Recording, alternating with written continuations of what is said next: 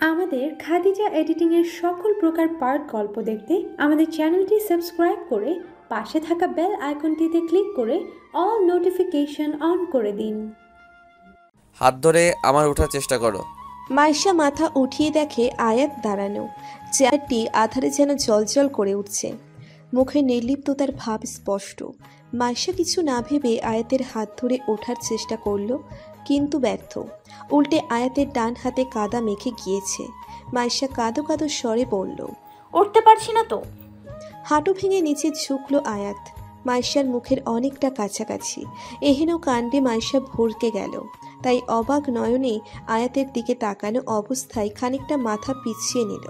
মাইশা অপ্রস্তুত কণ্ঠে বলল কে কে কি হয়েছে? একটা জঙ্গলি বিড়াল কোলে নেওয়ার অপরাধে আমার কিউট গালে হাত তুলেছিল। তাই এখন মেয়েদেরকে করে নিতে আমার ভয় হয়। কি করা যায় বলতো? মাইশার চোখ এবার সত্যি অক্ষি কোটর থেকে বেরিয়ে যাচ্ছে। আয়াতের ঠোঁটের কোণে বিদ্রুপ হাসি। মাইশা পারলে এবার সত্যিই ভ্যাভা করে কেঁদে ফেলবে। আপনি সত্যি একটা খারাপ। রাত বিরাতে একটা মেয়ে বিপদে পড়েছে আর আপনি মজা নিচ্ছেন। তো আমি কি বলেছি রাত বিরাতে তোমার বিপদে পড়তে? এত শখ হয়েছিল চা খাওয়ার? লাগবে না আপনার হেল্প আপনি শুধু আনান বা সামাদকে রাখুন মাইশার বিক্ষিপ্ত কণ্ঠ আয়াত একটা দীর্ঘশ্বাস ফেলে বলল পা ভাঙলো তবু মচকালো না। কথাটি বলে আয়াত হুট করে কোলে তুলে নিল মাইশাকে। মাইশার জামার খানিকটা কাদা আয়াতের টি শার্টে লেগে গেলেও আয়াত কোনো ভ্রুক্ষেপ করে না। মাইশা একটু অস্বস্তির সাথে আয়াতের গলা জড়িয়ে ধরেছে। এদিকে পায়ের রগে টনটন ব্যথা আমার খানিকটা কাদা আয়াতের টি শার্টে লেগে গেলেও আয়াত কোনো ভ্রুক্ষেপ করে না। মাইশা একটু অস্বস্তির সাথে আয়াতের গলা জড়িয়ে ধরেছে।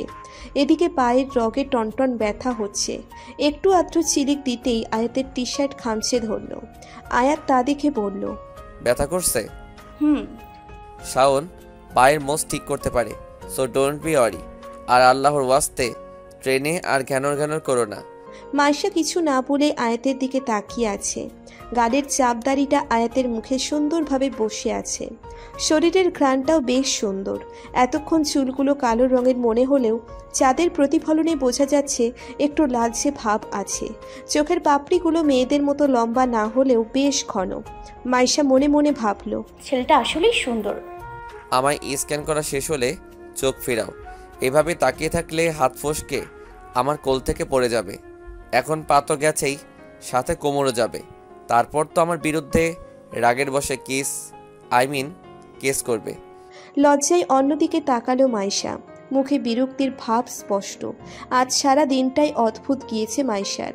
এতটা বিভ্রান্তিকর পরিবেশে এর পূর্বে মাইশা কখনোই পড়েনি। নাক ফুলিয়ে মাইশা বিড়বিড়িয়ে বলল অসভ্যতায় ডাবল পিএইচডি করেছে এই বদমাইশটা। কমলাপুর রেল স্টেশনের সকালটা সুন্দর। আশেপাশে ব্যস্ত মানুষের কোলাহলের সাথে চমৎকার এক পরিচয় কুলিটা ব্যাগ নেওয়ার জন্য নির্বিকারভাবে ডাকছে। তো মাঝে মাঝে ওয়েটিং রুমে প্যাসেঞ্জারদের বিরক্তি সবার নজর কেড়ে নিচ্ছে। তবে মাইশার কাছে এই সব থেকেও বেশি সুন্দর মনে হলো আয়াতের সৌন্দর্যকে। শীতের কারণে লেবন টি শার্টের ওপর একটি কালো জ্যাকেট জড়িয়ে নিয়েছে। কিছুক্ষণ আগে মুখ ধোয়ার কারণে মুখে ফুটে উঠেছে বিন্দু বিন্দু পানি। চাপ দাড়িগুলো যেন নিজেদের সৌন্দর্য নিপুণতার সাথে প্রকাশ করে যাচ্ছে। মাইশা এক পলক নিজেকে দেখে নিল। গতরাতে কাদায় পড়ে যাওয়ায় জামা পাল্টে নিয়েছে ও। পায়ের ব্যথার পরিমাণটা নেই বললেই চলে। এর ক্রেডিট দিতে হবে আয়াতের ফ্রেন্ড শাওন ভাইকে। আয়াতের মতো ডেসপারেট মানুষের সাথে এমন ছেলের এত গভীর বন্ধুত্ব কি করে সম্ভব? মাইশা যেন ভেবে তার কুল কিনারা পেল না। পৃথার এখনও বিয়ের শাড়ি পরা। বলাই বাহুল্য পৃথার কোনো জামা না থাকায় অগত্যাই এই শাড়ি পরে আছে। এখন কোথায় যাবে তোমরা? শাওনের প্রশ্নে দৃষ্টি নিক্ষেপ সামা ডিরেক্ট কাজী অফিস। এই নিব্বা নিব্বির ফটোফট দিয়ে দিতে হইব। কেন? কাজী অফিস মধুচন্দ্রিমায় যাবে নাকি? আদ আনান পৃথা অর্পি মাইশা সবাই বিস্মিত চোখে আয়াতের দিকে তাকায়। আয়াতের চোখের তেজস্ক্রিয়তা স্পষ্ট। ঠোঁট দুটো চেপে এমন ভঙ্গিতে দাঁড়িয়ে আছে যেন গভীর কিছু একটা ভেবে নিয়েছে। আয়াত আবার বলল এখন কাজী অফিস যাবে না। যাবে যে কোনো সেফ একটি চোনে সেখানে যেখানে পঞ্চগড়ের সেই লোকগুলো বিন্দুমাত্র টের পাবে না। So think it deeply and don't make a stressful decision আয়াতের বুদ্ধিমত্তায় অভিভূত হলো ওরা। ব্যাপারটা আসলেই ভেবে দেখতে হবে। একটা ভুল পদক্ষেপ অনেক বড় ঝামেলা ক্রিয়েট করতে পারবে। তিথি তখন বলল বিয়েটা এখন ফ্যাক্ট না। ফ্যাক্ট হলো তোমাদের সেফ থাকা। সো আই থিঙ্ক আয়াত সেইট রাইট আয়াত কিছু না বলে কিঞ্চিত হাসল। চোখের পাপড়ির ঘন পল্লবে ওকে দেখতে লাগছে অমায়িক। মাইশা গহীন দৃষ্টিতে ওর মুখের দিকে কিছুক্ষণ তাকিয়ে থাকল। কেউ বলতেই পারবে না এই ছেলের মধ্যে কোনো আড়ষ্টতা ভাব আছে। অর্পি তখন আয়াত শাওনার তিথির উদ্দেশ্যে বলল আপনাদের অনেক অনেক ধন্যবাদ। আজ আপনাদের জন্যই আমরা সেফুলি ঢাকায় ব্যাক করেছি। You are most welcome Tithi মিষ্টি হাসি দিয়ে বলল তো তোমরা এখন যাবে কোথায়? আমরা সবাই মিরপুর নামবো। তবে মাইশা আর অর্পি যাবে উত্তরাতে। আয়াত মোবাইলের থেকে চোখ উঠিয়ে ওদের দিকে তাকালো। এক পলক জানতে ইচ্ছে হয়েছিল যে মাইশার বাসা উত্তরাতে নাকি। পরন্তু কিছু ভেবে আর জিজ্ঞেস করল না। আয়াত তখন মোবাইল পকেটে রাখতে রাখতে বলল উফ if all of you have no problem. আমরা তোমাদের পৌঁছে দিতে পারব। কিন্তু কীভাবে? মাইশার সন্দেহজনিত প্রশ্ন। আয়াত অকপটে উত্তর দিল অবভিয়াসলি কার ড্রাইভ করে শাওনের বাবা এখানকার রেল ডিপার্টমেন্টে বড় পদের একজন অফিসার আর সরকারি গাড়ি থাকতে আমরা কেন টাকা দিয়ে বাড়িতে যাব? অবশ্যই। ফটাফট সবাই বাইরে গিয়ে দাঁড়াও। আমি কার নিয়ে আসছি? গাড়ি শাহ শাহ করে ছুটে চলেছে মেয়র মোহাম্মদ হানিফ ফ্লাইওভারের উপর দিয়ে। সরকারি গাড়ি আবার ছোট বিধায় এক প্রকার গাদাগাদি করে বসতে হচ্ছে সিটে। প্রথমে আয়াত ড্রাইভ করছে আর পাশে বসা শাওন। পিছনে বসেছে পৃথা। অর্পি তিথি আর মাইশা। তারও পিছনে ব্যাগপত্রের সাথে ঘেঁষাঘেঁষি করে বসে আছে আনান আর সামাদ। আনান ব্যথাতুর কণ্ঠে সামাদকে বলল শালা আমার সাথে চিপকা বইসা আসস আমার তো বউ পাইছস যা দূরে সর। আমার তো আর কাজ কাম নাই যে তোর মতো হনুমানের সাথে আমি বসবো। ব্যাগগুলো তোর মাথায় রাখ এরপরই আমি দূরে বসতে পারব। চোখ কি মাথায় মগজে ঢুকাইয়া রাখোস? দেখোস না যে ব্যাগের জন্য আমাদের বেমালুম অবস্থা? আনার নাক সিটকিয়ে হাহাকার করতে লাগল। আনান আর সামাদের অবস্থা দেখে সবাই মজা নিচ্ছে। সাথে খিলখিলিয়ে হেসে উঠল মাইসা। এই আনান পয়দা থেকেই এমন ছিল। এটা তো অজানা কিছু নয়, কিন্তু আজ বোধ হয় সামাদেরও আনান রোগ হয়েছে। মেঘলা আকাশটা, ঢাকার পরিবেশটা আরও চমৎকার করে দিচ্ছে। আলানের সৌন্দর্য যেন আধুনিকতার সাক্ষাৎ দিচ্ছে। হঠাৎ সামনের দিকে ব্যাক মিররে চোখ গেল মাইশার। ঘন পাপড়ি বিশিষ্ট কালচে বাদামি চোখজোড়া এক ধ্যানের সামনের দিকে তাকিয়ে আছে। পেছন থেকে মায়েশা আয়াতের মুখের এক চতুর্থাংশ দেখতে গেল। পেছন থেকে মাইশা আয়াতের মুখের এক চতুর্থাংশ দেখতে পেল। তবুও যেন দৃষ্টি নেশা হয়ে গিয়েছে ওর। আয়নার স্পষ্ট দেখা যাচ্ছে কীভাবে বারবার উপরে ঠোঁট দিয়ে, নিচের ঠোঁট দিয়ে আনমনে ড্রাইভ করছে আয়াত। ইউটিউবের বেশ কয়েকটা ব্লগে, আবার ইনস্টাগ্রাম পেয়েছে এই এই কন্টেন্ট ক্রিয়েটার আরহাম আয়াতকে দু তিনবার দেখা হয়েছিল। কিন্তু সৌন্দর্য বা কাজকর্ম নিয়ে কখনো আগ্রহ জাগেনি মাইশার মনে। তবে এটা মানতে হবে যে আয়াত বাস্তবে এর থেকেও বেশি সুন্দর। গার্লস আমার স্মোক করতে খুব ইচ্ছা করছে। If you give me a permission may I শাওনের অকপটে আবেদনে বিস্মিত হলো সবাই। যেন স্মোক করাটা কোনো ব্যাপারই না। যেন স্মোক করাটা কোনো ব্যাপারই না। আয়াতের তুলনায় শাওনও কম অংশে সুন্দর নয়। কালো ঘন চুল শক্ত চোয়াল ফর্সা মুখের প্রশস্ত হাসি সব মিলিয়ে একজন সুদর্শন পুরুষ হিসেবে শাওন হয়তো বেস্ট সাধারণত ছেলের সিগারেট খাওয়াটা কেউ ভালো চোখে না দেখলেও শাওনের ভিন্নতা হয়তো এখানে ফুটে উঠেছে। আয়াত তখন বলে উঠল এখানে খাইস না ভাই সামনে টোল দিতে হবে দেখলে ঝামেলা হবে। Yeah you are right Shaon স্বতঃস্ফূর্ত কণ্ঠে বলে উঠল মাইশা এখনও তাকিয়ে আছে ব্যাক মিররে আয়াতের প্রতিবিম্বের দিকে। চোখ যেন কোনো ক্রমে সরছে না। হঠাৎ আয়াতও সেদিকে নজর দিল। দুজনের চোখাচোখি হতেই হঠাৎ মাইশার হার্টবিট একটা যেন মিস হয়ে গেল। মনে মনে বলে ফেলল ও এমজি ও এমজি আমি এবার পাগলই হয়ে যাব। যদিও মুখ ফুটে তার প্রকাশ হলো না। আয়াত অবিন্যস্ত ভঙ্গিতে এখনও আয়নায় মাইশার বড় বড় মায়াবী চোখের দিকে তাকিয়ে আছে। হঠাৎ ওর ধ্যান ভাঙল শাওনের ধাক্কায়। What happen Ayat? ব্যাক মিররে এভাবে কি দেখছিস? লজ্জায় চোখ ফিরিয়ে নিল মাইশা। নিজের মাথায় নিজেরই বাড়ি মারতে মন চাচ্ছে ওর। এতক্ষণ কীভাবে ক্যাবলাকান্তের মতো আয়াতের দিকে তাকিয়েছিল এটা ভাবতেই অদ্ভুত সম্মোহনীতে পড়ে গেল। আয়াত মিররে মাইশার দিকে তাকিয়ে গম্ভীর দৃষ্টিতে শাওনকে বলল তেমন কিছু না। আয়াতের তেমন কিছু না কথাটার মধ্যেও এক অন্যরকম আকর্ষণ ছিল যা মাইশার শরীরে শিহরণ জাগিয়ে তুলেছে। মাইশা বড্ডই ভাবুক মেয়ে ছোট্ট একটি বিষয় নিয়েই ভাবনায় মুশকুল হয়ে পড়ে। আয়াতের এই ছোটখাটো বিষয়ও মায়েশাকে ভাবুক করে তুলেছে। আচ্ছা এ তো আগে এমন ছিল না? তবে হুট করে এক রাতে ব্যবধানে এত পরিবর্তন আসলো কীভাবে? উত্তরার দু নম্বর সেক্টরটি সুন্দর। প্রতিটি বিল্ডিংয়ের মাঝেই বড়সড় জায়গা খালি রয়েছে। শীতের আমেজে গাছের পাতাগুলোতে মলিনতায় ভরপুর। গাড়ি এখন চলেছে এই রাস্তাটিকে কেন্দ্র করেই। আনান সামাদ নেমেছে মিরপুরে আর পৃথা নেমেছে আরেকটু এগিয়ে ওর খালামনির বাসার সামনে। এরপর মায়েশা আর অর্পিকে উত্তরাতে পৌঁছে দেওয়ার জন্যই আপনাদের বাসা কোথায়? গাড়ির স্টিয়ারিং ঘোরাতে ঘোরাতে বলল সেটা না জানলেও চলবে। ভয় হচ্ছে যে হুট করে আপনার বাসায় চলে যাব কি না? মাইশার স্থির কণ্ঠে আয়াত মিরর দিয়ে আরও একবার মাইশার দিকে তাকালো। পরন্ত দুপুরে এমন তীক্ষ্ণ চাহনিতে মেয়েটাকে স্নিগ্ধ লাগছে। আয়াত বিদ্রুপ হাসি হেসে বলল হুট করে আমার বাসায় এমন অপরূপ সুন্দরী মেয়ে আসলে নিজেকে ভাগ্যবান মনে হবে। You know what privacy is the best policy মাইশার শরীরে যেন শুয়োপোকা কিলবিল করছে।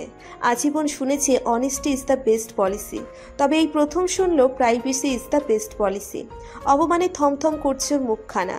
আচমকা গম্ভীর কণ্ঠে বলল স্টপ দ্য কার আয়াত খেয়াল করল এখনও আবাসিক এরিয়াতে প্রবেশ করেনি গাড়িটা। তবুও গাড়ি থামিয়ে বলল কেন? আমরা এসে পড়েছি। আমাকে মানসিক পাগল লাগছে তোমার?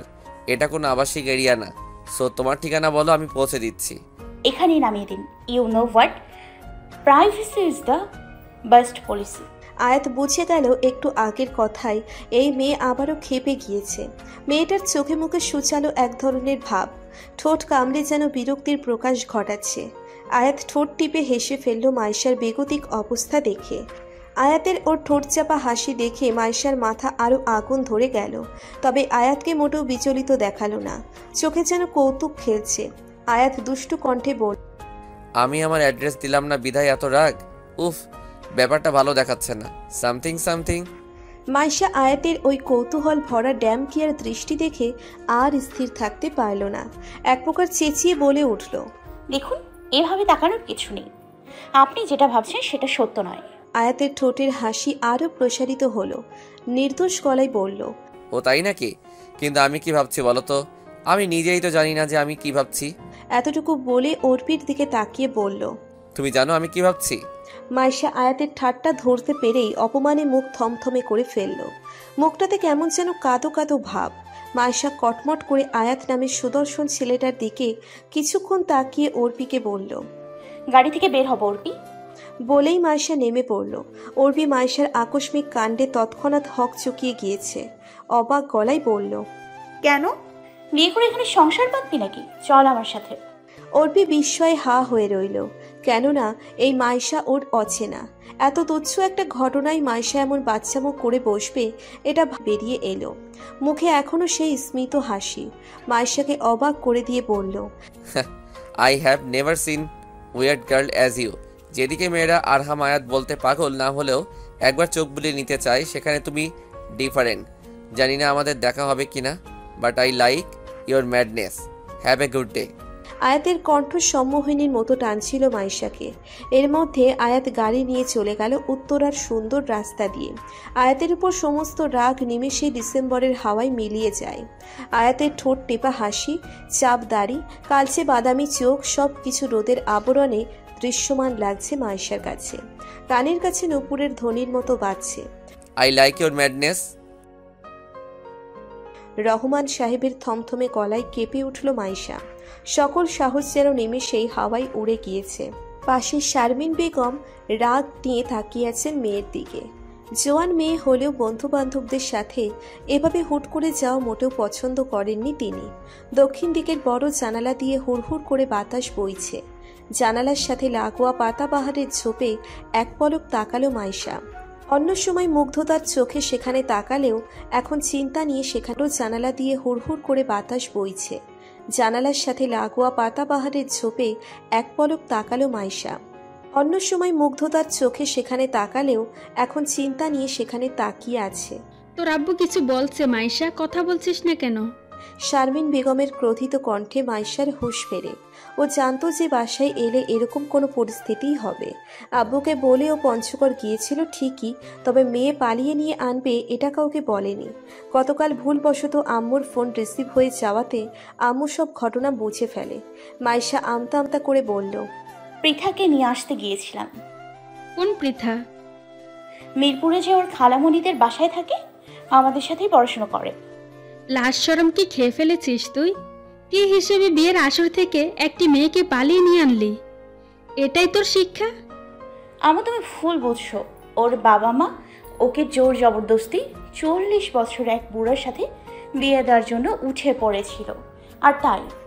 আর তাই বিয়ের আসর থেকে এক মেয়েকে পালিয়ে নিয়ে আসার মতো মহৎ কাজ করেছ তুমি তাই না?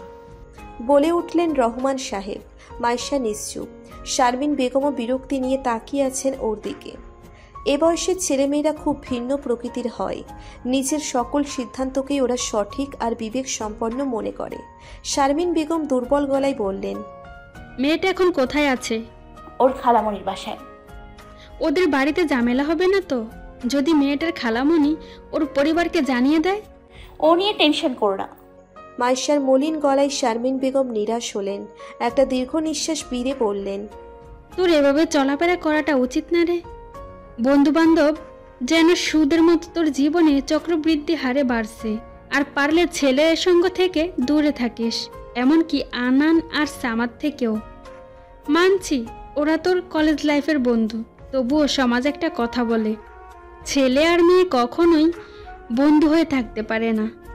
কথা বলেই শারমিন বেগম মাইশা এখনও ব্যাগ কোলের মধ্যে রেখে মাথা নিচু করে বসে আছে। দক্ষিণা হাওয়াটা হুট করেই যেন শব্দহীন হয়ে গেল। পুরো ঘরটিতে রইল মৌনতা। রহমান সাহেব হালকা কাশলেন। বড় ছেলে নুহাস আর মাইশার একই রকম বৈশিষ্ট্যগুলোতে তিনি বারবার নিরাশ হলেও মেয়েটাকে বড্ড ভালোবাসেন তিনি। রহমান সাহেব এগিয়ে মাইশার মাথায় হাত রাখল। মাইশা, মামনি আব্বুর এই স্নেহের ডাকটা মাইশার অজস্র অভিমানের বাঁধ ভেঙে দিতে পারে। কোমল কণ্ঠে সেদিকে না তাকিয়েই বলল হুম। তোমার আম্মুর মতো তোমায় কখনোই কোনো কাজে আমি বাধা দেইনি। নুহাসের মতো তোমাকেও পূর্ণ স্বাধীনতা দিয়েছি আমি। কখনো কোনো কৈফিয়ত দিতে বলিনি আজও বলব না। বলব না যে আনান বা সামাদের সাথে বন্ধুত্ব নষ্ট করো তবে একটা কথা দিতে হবে। কি কথা? রহমান সাহেব মাইশার কাছে বসলেন। মেয়েটা ফ্যাল করে তাকিয়ে আছে বাবার তীক্ষ্ণ চাহনির দিকে। রহমান সাহেব বললেন জীবনে এমন কোনো কাজ করবে না যাতে একবারের জন্য আমার মনে হয় যে তোমার স্বাধীনতার দেয়াটা আমার সবচেয়ে বড় ভুল ছিল। কখনোই যেন তোমার জন্য আমাকে তোমার মা আর বড় ভাইকে অপমানিত না হতে হয়। আশা করি এমন কোনো কাজ করবে না। মাইশা হতভম্ব হয়ে রইল রহমান সাহেবের এমন কথায়। বাবাকে এতটা গুরুগম্ভীর কখনোই মনে হয়নি যতটা আজ মনে হয়েছে। মাইশা মুচকি হাসল। বাবার হাতে হাত চেপে বলল তোমার কথা কখনোই আমি অমান্য করব না। এমন কোনো কাজ করব না যাতে তোমায় কষ্ট পেতে হয়। কথা দিলাম। রহমান সাহেব স্বস্তির নিঃশ্বাস ফেললেন। আদুরে গলায় মাইশাকে বললেন যাও রুমে গিয়ে বিশ্রাম নাও। কুয়াশার আবরণে আবদ্ধ। ছাদের ছোট্ট ঘরে ল্যাপটপের মধ্যে নেটফ্লিক্সে চার্লি চ্যাপলিনের একটা মুভি চলছে। আশেপাশে কোকের বোতল, ফুড প্ল্যান্ডার পার্সেলের খোলা প্যাকেট আর আধুয়া প্লেট পড়ে আছে। সেদিকে মাইশার কোনো প্রক্ষেপ নেই। টেবিল ল্যাম্পটা একবার অন করছে, তো একবার অফ করছে। আজ চার দিন হয়ে গেল মাইশা ঢাকা এসেছে। কিন্তু নিজের মধ্যে বিরাট একটা পরিবর্তন দেখে মাইশা অবাক হয়ে যায়। এই কয়েক দিনে একটিবার শুধু পৃথার সাথে দেখা করার জন্য বেরিয়েছিল। তারপর একবারও না। এর কারণ ওর অজানা। শুধু এতটুকু জানে আয়াতের স্মৃতি মাছির মতো ওর মাথায় ভন ভন করছে। সেদিন বিকেলে আয়াতের সাথে রাগারাগির কথা মনে করে লজ্জাও লাগছে বটে। কানের মধ্যে তরঙ্গের মতো বাজছে আয়াতের শেষ কথাটা। আই লাইক ইয়োর ম্যাডনেস মাথাটা এলিয়ে দিল মাইশা টেবিলের মধ্যে।